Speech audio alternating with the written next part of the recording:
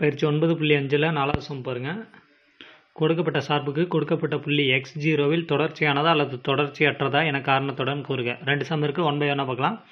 X zero equal to ஒன்று ஓகேவா F of X equal to X square minus ஒன்று by X minus ஒன்று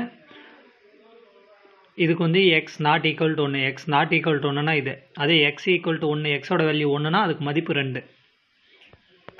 ஓகேவா இது கொடுத்துருக்கிற டீட்டெயிலு இதில் வந்து என்னென்னா எக்ஸுக்கு பதிலாக எஃப் ஆஃப் ஒன்றுன்னு எடுத்திங்கன்னா ரெண்டா? இந்த எக்ஸுக்கு பதிலாக ஒன்றுன்னு போடுறீங்க. எக்ஸோட வேல்யூ ஒன்றுனா அதோட மதிப்பு ரெண்டு. இது சமன்பாடு ஒன்றுன்னு வச்சுங்க. ஓகேவா இந்த வேல்யூ கண்டுபிடிக்கணும். அதாவது இங்கே எக்ஸுக்கு ஒன்றுன்னு போட்டோமா ரெண்டுன்ட்டாங்க. இங்கே வந்து எக்ஸ் நாட் ஈக்குவல் டு ஒன்று அதாவது எக்ஸுக்கு ஒன்று கொடுக்கக்கூடாது. ஒன்று கொடுத்தா ஒன்று மைனஸ் ஒன்று ஜீரோன்னு வருங்கிறதுக்காக ஒன்று கொடுக்கக்கூடாது. வேறு எந்த நம்பர் வேணாலும் கொடுத்துக்கலாங்கிறாங்க.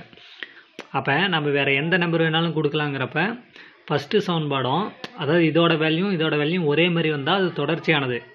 இதோட வேல்யூவும் இதோட வேல்யூவும் வெவ்வேறு மாதிரி இருந்தால் தொடர்ச்சியற்றது அதாவது இந்த வேல்யூ அப்ளை பண்ணி சமன்பாடுக்கு இப்போ எஃப் ஆஃப் ஒன்றுன்னு அப்ளை பண்ணி ரெண்டு வந்துச்சா? இந்த சவுன்பாட்டுக்கு இப்போ சப்போஸ் எக்ஸோட வேல்யூ அஞ்சுன்னு கொடுத்துருக்கான். அஞ்சு அப்ளை பண்ணி அதுக்கும் ரெண்டு வந்துச்சுன்னா தொடர்ச்சியானது. ரெண்டு வரல அப்படின்னா தொடர்ச்சி ஆட்டுறது ஆனால் இங்கே வந்து எக்ஸ் நாட் ஈக்குவல் டு ஒன்று அப்போ ஒன்றை தவிர மீதி எந்த நம்பர் வேணாலும் போடலாங்கிறாங்க. ஓகேவா மீதி எந்த நம்பர் வேணாலும் போடலாங்கிறப்ப ஒரு நம்பருக்கு இது செட் ஆகும் ஒரு நம்பருக்கு செட் ஆகாது. ஓகேவா இப்போ ரெண்டாம் நம்பருக்கு செட் ஆகுது அப்படின்னா மூணாம் நம்பருக்கு செட் ஆகுது. நாலாம் நம்பருக்கு செட் ஆகுதுன்னா அஞ்சாம் நம்பர் போட்டோம்னா ஆன்சர் சேம் வராது. அந்த கன்ஃபியூஸ் வரும் அப்படிங்கிறதுக்கு இந்த மாதிரி கொடுக்குற சம்முக்கு நம்ம என்ன பண்ணுவோம் அப்படின்னா லிமிட்டில் போடுவோம். ஓகேவா எக்ஸ் நாட் ஈக்குவல் டு ஒன்று எக்ஸோட வேல்யூ ஒன்று போடக்கூடாதுன்ட்டாங்க. ஆனால் நாம் எப்படி போட போகிறோம்னா லிமிட் அதாவது எக்ஸோட லிமிட் வந்து ஒன்றை நோக்கி வருது. ஓகேவா? ஜீரோலேருந்து ஒன்றை நோக்கி வருது. அப்படின்னு வச்சுக்கலாம். இல்லை ரெண்டுலேருந்து ஒன்றை நோக்கி வருது. அந்த மாதிரி வச்சுக்கலாம். ஒன்று தான் தரக்கூடாது. லிமிட் வந்து ஒன்று நோக்கி வருது அப்படின்னு கொடுக்குறப்ப எஃப்எஃப்எக்ஸ் ஈக்குவல் டு லிமிட் இந்த எஃப்எஃப்எக்ஸுக்கு பதிலாக இந்த எக்ஸ் ஸ்கொயர் மைனஸ் ஒன்று பை எக்ஸ் மைனஸ் ஒன்று ஓகேவா? எக்ஸ் ஸ்கொயர் மைனஸ் ஒன்று ஸ்கொயர் பை எக்ஸ் மைனஸ் ஒன்று ஓகேவா அதாவது உங்களுக்கு ஒரு ஃபார்முலா ஏற்கனவே பார்த்துருப்போம். எக்ஸோட லிமிட் ஏன் இருக்கும்போது எக்ஸின் அடுக்கு என் மைனஸ் ஏவின் அடுக்கு N by X minus A இங்கே ஏவினோட வேல்யூ தான் இந்த ரெண்டு சைடும் வரணும். இங்கே அடுக்கில் இருக்கிறது இங்கே அடுக்கு இல்லாமல் வரணும். இப்படி வந்துச்சுன்னா நம்ம என்ன எழுதுவோம்? என் இன்ட்டு ஏ அடுக்கு என் மைனஸ் ஒன்றுன்னு எழுதுவோம். இங்கே பாருங்கள் ஏவுக்கு பதிலாக இங்கே ஒன்று இருக்குது இங்கேயும் ஒன்று இங்கேயும் ஒன்று மேட்ச் ஆகுது இங்கே என்ன வேல்யூ வருது அதே தான் இங்கேயும் வரணும். இங்கே ஜீரோ வந்தால் இங்கேயும் ஜீரோ வரணும். இங்கே அஞ்சு வந்தால் இங்கேயும் அஞ்சு வரணும். அதேமாதிரி மேலே ஸ்கொயரில் வருது கீழே ஸ்கொயர் இல்லாமல் வரணும். இது இதே வடிவத்தில் இருக்கா? அப்போ என் இன்ட்டு ஏவின் அடுக்கு என் மைனஸ் ஒன் அடுக்கில் இருக்கிறது தான் என்ன அப்போ என்னோட வேல்யூ ரெண்டு. ஏவோட வேல்யூ இந்த வேல்யூ ஓகேவா ரெண்டு இன்ட்டு ஒன்று அடுக்கு என் மைனஸ் ஒன் ரெண்டு மைனஸ் ஒன்று ரெண்டு இன்ட்டு ஒன்றின் அடுக்கு ஒன்று அப்போ ரெண்டு. சவுன்பாடு ரெண்டும் ஒரே மாதிரியே வருதா?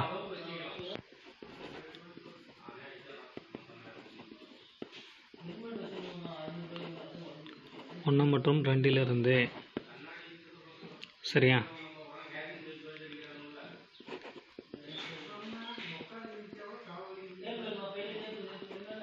எஃப் ஆஃப் எக்ஸ் இதோட வேல்யூவும் எஃப் ஆஃப் ஒன்றும் சமமாக நல்லா பாருங்கள் இந்த லெஃப்ட் சைடு வரதும் இந்த லெஃப்ட் சைடு வரதும் சமம். ஏன்னா ரைட் சைடு ரெண்டும் சமங்கிறதுனால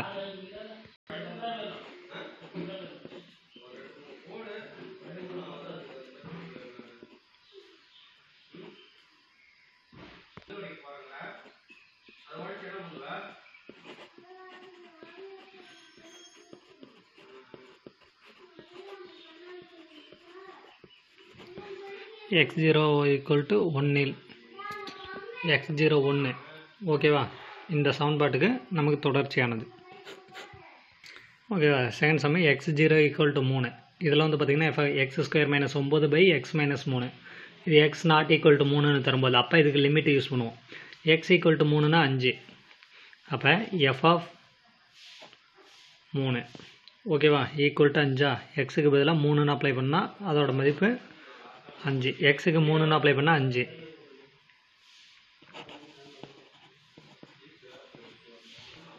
எக்ஸோட லிமிட் மூணு. ஏன்னா இங்கே வந்து மூணு வரதுனால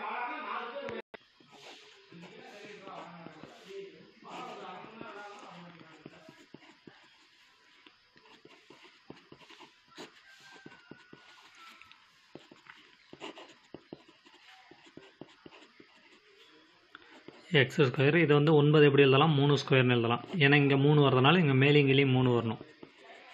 இங்கே மூணு இங்கேயும் மூணு இங்கேயும் மூணு. இங்கே ஸ்கொயரில் வருது கீழே ஸ்கொயர் இல்லாமல் வருதா?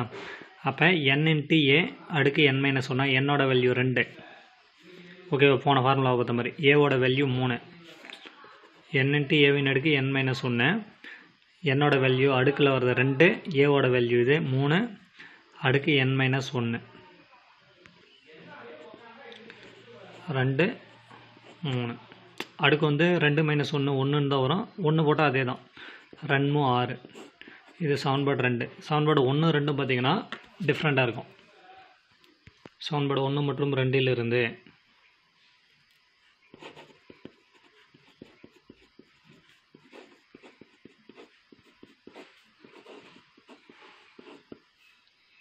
ஓகேவா ரெண்டு not equal to F F F of எக்ஸும் எஃப் ஆஃப் மூணும் வெவ்வேறு ஆன்சர் வந்திருக்கு.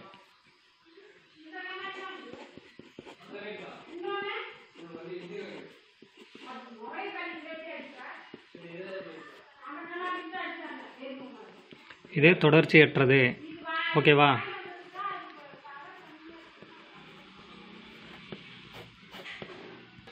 ஒம்பது புள்ளி அஞ்சில் அஞ்சாவது சம் பாருங்கள் எக்ஸ் கியூப் மைனஸ் ஒன்று பை எக்ஸ் மைனஸ் ஒன்று இது எக்ஸ் நாட் ஈக்குவல் டு ஒன்று மூணுங்கிறது எக்ஸ் ஈக்குவல் டு ஒன்று என்ற சார்பு மைனஸ் இன்ஃபினிட்டி கம்மா இன்ஃபினிட்டியில் தொடர்ச்சியானது என காட்டுக. அவனே தொடர்ச்சியானதுன்னு காட்ட சொல்லிட்டான்.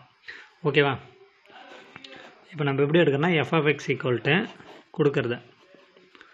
எக்ஸ் கியூப் மைனஸ் ஒன்று பை எக்ஸ் மைனஸ் ஒன்று எக்ஸ் நாட் ஈக்குவல் டு ஒன்று எக்ஸ் ஈக்குவல் டு ஒன்று இப்போ இதில் F of X F of ஒன்றுன்னு கொடுக்குறேன். எஃப் ஆஃப் ஒன்றுன்னு வந்தால் அதோட வேல்யூ மூணு. இது சவுன்பாடு ஒன்றில் முடியுது. ஓகேவா நாட் ஈக்குவல் டு ஒன்று அப்போ நம்ம லிமிட்டில் எடுப்போம். எக்ஸோட லிமிட் ஒன்றுன்னு கொடுப்போம். ஏன்னா இதில் போன சம் மாதிரி வேல்யூ கொடுக்கல அதனால் நம்ம ஒன்றா எடுக்கிறோம். எக்ஸ் ஈக்குவல் டு ஒன்று வரதுனால எஃப் ஆஃப் ஒன்றுன்னு எடுக்கிறோம் ஓகேவா அப்போ ஏ சரி எஃப் ஆஃப் எக்ஸ் போடுவோம்.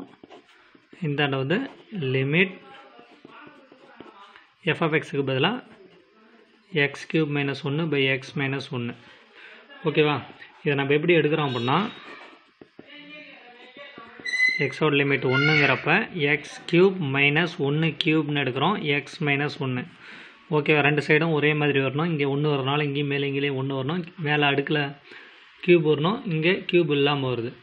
ஓகேவா அடுக்கில் ஸ்கொயர் வரலாம். அல்லது இங்கே ஸ்கொயர் அடுக்கு ரெண்டும் ஒரே மாதிரியே வரணும். அதுதான் முக்கியம். இங்கே மூணுனா இங்கே மூணு. இங்கே நாலுனா இங்கே நாலு. கீழே அதே வேல்யூ அடுக்கு இல்லாமல் வரணும். இப்போ அடுக்கு என் வந்து மூணு. இன்ட்டு ஏவோட வேல்யூ ஒன்று அடுக்கு என் மைனஸ் ஒன்று ஓகேவா? மூணு இன்ட்டு ஒன்றின் அடுக்கு ரெண்டு. ஒன்றின் அடுக்கு எதுவாக இருந்தாலும் ஒன்று தான் அப்போ ஓர் மூணு மூணு. சவுன்பாட் ரெண்டும் ஒன்றும் ஒரே மாதிரியே வருதா?